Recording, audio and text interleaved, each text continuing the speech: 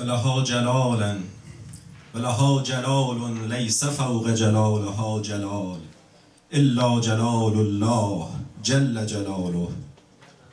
ولها نوال لیس فوق نوالها نوال الا نوال الله عم نواله. و فاطمه را جلال و جبروت و عظمتی است که در ورای او هیچ بزرگواری نیست مگر جلال خداوند جلیل. و همو را بخشش و کرامتی است که در ورای آن هیچ بخششی نیست مگر کرامت خداوند. دفعتا خبر آمد که فدک از دست رفت و این برای شما بانوی من که تازه داغ قصب خلافت دیده بودید کم غمی نبود. کارگزاران شما حراسان آمدند و گفتند خلیفه ما را از فدک بیرون کرد و افراد خود را در آنجا گماشت. شما در بستر بیماری بودید. رنگ رویتان زرد بود و دستهایتان هنوز میلرزید. شما مستر و مسترب از بستر بیماری جهیدید و گفتید چرا؟ و شنیدید فدک را هم قصب کردند. به نفع حکومت قصبی. فدک قریه است در اطراف مدینه. از مدینه تا آنجا دو سه روز راه است. این باغ از ابتدا دست یهود بوده تا سال هفتم هجرت.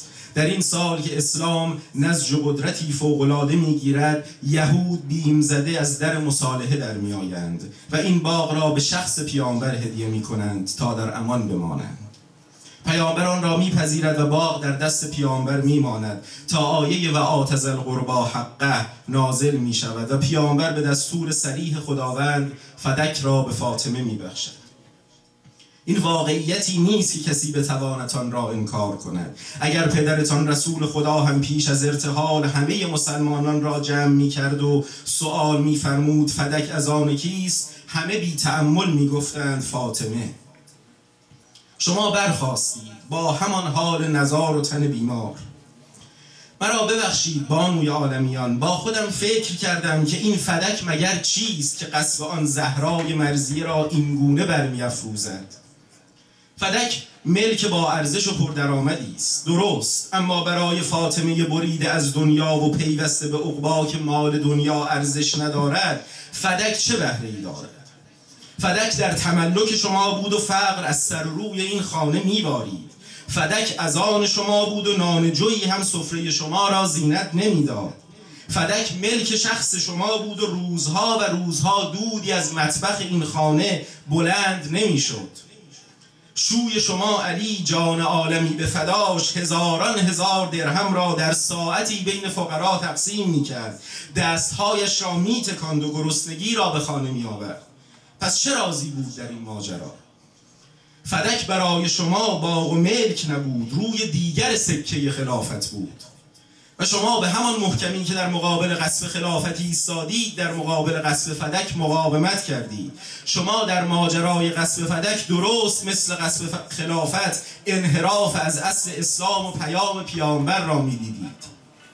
وقتی جنازه پیامبر بر زمین است می توان حکم او را در خاک کرد. وقتی هنوز رطوبت قبر پیامبر خشک نشده می توان کلام او را مال کرد. هر اتفاق و انحرافی دیگر بعد از آن بعید نیست. و این بود آنچه جگر شما را می سوزاند غضبناک به ابوبکر فرمودید فدک از آن من است. میدانی که پدرم به امر خدا آن را به من بخشیده. چرا آن را قصد کردی؟ ابوبکر گفت بر این مدعایت شاهد بیاور.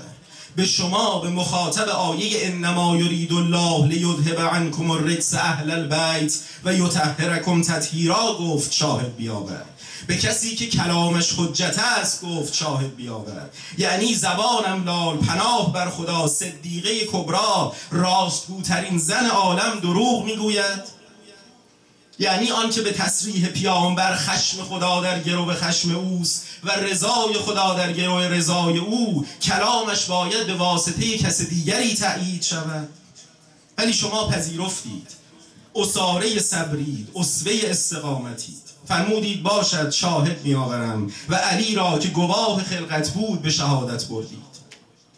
گفت کافی نیست. یک نفر برای شهادت کافی نیست. عجب! خلیفه نشنیده این کلام پیامبر را که الحق مع علی و علی مع الحق. یدور معها یدور معه حیث مادار. همیشه حق با علی است و علی با حق. حق به دور علی میگردد حق دنبال روی علی است. این کلام به آیه قرآن میماند نست سریح کلام پیامبر است. پیامبر آنقدر این کلام را در زمان حیات خیش تکرار کرده که هیچ کس نشنیده و نماند. و این یعنی کلام علی حکم است عدالت است. ام ایمن شاهد دیگر شما آمد. به خلیفه گفت شهادت نمی‌دهم مگر اینکه اعترافی از تو بگیر. چه اعترافی؟ کلام مشهور پیامبر در مورد من چیست ابو بکر؟ خودت این را از زبان رسول نشیده ای که فرمود ام ایمن از زنان بهشتی است. گفت چرا؟ شنیدم همه شنیدند. گفت من زنی از زنان بهش شهادت می‌دهم که پس از نزول آیه و آتز القربا حقه پیامبر فدک را به امر خدا به فاطمه بخشید. خلیفه خل اصلاح شد. گفت باشد فدک از آن فاطمه بنویس. بنویس. و خلیفه نوشت که فدک از آن زهراست. تمام؟ نه.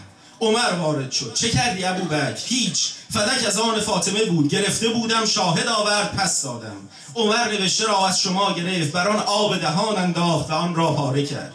اشک در چشمان شما نشست ولی سکوت کردید. هیهات از این سکوت و صبوری. علی آهی از سر درد کشید و گفت چرا چنین می‌کنید؟ گفته شد شهود کمند. باید بیشتر شاهد بیاورید. علی رو به ابو بکر کرد و گفت اگر مالی در دست کسی باشد و من ادعا کنم که آن مال از من است تو از کدام یک شاهد میطلبی؟ از آن که مال در دست اوست و زلیده است یا من که ادعا می‌کنم؟ او گفت حکم اسلام این است که باید از مدعی شاهد طلب کرد که نه از آن نه از آن که مال در دست اوست. علی فرمود پس چرا از فاطمه شاهد می‌خواهی؟ در حالی که فدک در تملک و تصرف او بوده. ابو بکر در مقابل این برهان روشن از پای در آمد و سکوت کرد. ولی عمر با جسارت جواب داد علی رها کن این حرف ها را فدک را باز پس نمی‌دهی. و این هم علی بود استوانه هل ناگهان تصمیم غریبی گرفتید. اعلام کردید که مسجد می روید و سخنرانی می کنید آخرین حربه ای که در دست مظلوم میماند اظهار مظلومیت است. خبر مثل رع در فدا فضای مدینه پیچید و شهر را لرزاند. فاطمه به مسجد می آید دخت پیامبر می خواهد سخنرانی کند. مسجد به طرفت العینی قلقله شد. مهاجرین و انصار از هم پیشی می گرفتند کودکان بر دوش مردان قرار گرفتند تا یادگار پیامبر را به محض ورود ببینند. انگار جمعیت می‌خواست دیوارهای مسجد را در هم بشکنند. خلیفه مسلحت نمی‌دید من اتان کند. و بیداری مردم و رسوایی خیش را دامن بزند. آرام اما با شکوه و وقار از خانه در آمدید این شما بودید یا پیامبر که بر زمین میخرامید؟ همه گفتند انگار پیامبر زنده شده. شبیه ترین فرد به پیامبر حتی در راه رفتن. زنان بنی هاشم چون ستارگان شب تیره دور ماه وجودتان را گرفتند و جلال و جبرویتان را تا مسجد همراهی کردند. وقتی شما قدم به مسجد گذاشتید نفس در سینه مسجد حبس شد. در پشت پرده ای که به دستور شما آویخته شده بود قرار گرفتید. مدتی فقط سکوت کردید. سکوتی که یک دنیا حرف در آن بود. و آنها که گوش شنیدن این سکوت را داشتند زجه زدند. بغزی که راه گلوی شما را گرفته بود جز با گریه کنار نمی رفت گریه شما بغز مسجد را ترکان مسجد یک بار چه زجه و ناله شد. لب به سخن گشودید ایها الناس اعلمو انی فاطمه و ابی محمد. هان ای مردم بدانید که من فاطمه ام و پدرم محمد است. نه غلط در گفتارم جا دارد و نه خطا در کردارم. پیامبری از خود شما به میان شما آمد که رنجهای شما بر او گران بود و به هدایت شما حرس میورزید. اگر بخواهید او را بشناسید می‌بینید که پدر من بوده نه پدر زنان شما. و برادر پسر عموی من و برادر شوی من بوده نه برادر مردان شما. و راستی که چه خوب نسبتی است این نسبت من با پیامبر. ای پسر ابی قحافه ای ابو بکر آیا این در کتاب خداست که تو از پدرت ارث ببری و من از پدرم ارث نبرم؟ عجب نوبر زشتی آورده ای. آیا عمدن کتاب خدا را ترک گفتید و پشت سر انداختید یا نمی‌فهمید؟ آیا قرآن نمی‌گوید سلیمان از داوود ارث برد؟ آیا قرآن در ماجرای زکریا نمی‌گوید زکریا عرض داشت خدایا به من فرزندی عنایت کن تا از من و آل یعقوب ارث ببرد؟ این کلام قرآن است که خیشاوندان در ارث بردن بر بیگانگان ترجیح دارند. آیا شما گمان می‌برید که من هیچ ارث و بهره ای از پدرم ندارم؟ آیا خدا آیه مخصوص شما نازل کرده و پدر من و مرا استثناء نموده؟ آیا می‌گویید اهل دو مذهب از یکدیگر ارث نمی‌برند و من و پدرم پیرو دو مذهب مختلفیم؟ آیا شما به عموم و خصوص قرآن از پدرم و علی واردترید؟ بیا بگیر این مرکب آماده و مهار شده را و ببر. دیدار به قیامت که چه نیکوداوری است خدا و چه خوب دادخواهی است محمد و چه خوشوعدگاهی است قیامت. و سیعلم الذین ظلموا آل محمد علیهم السلام ایم انقلب ینقلبون.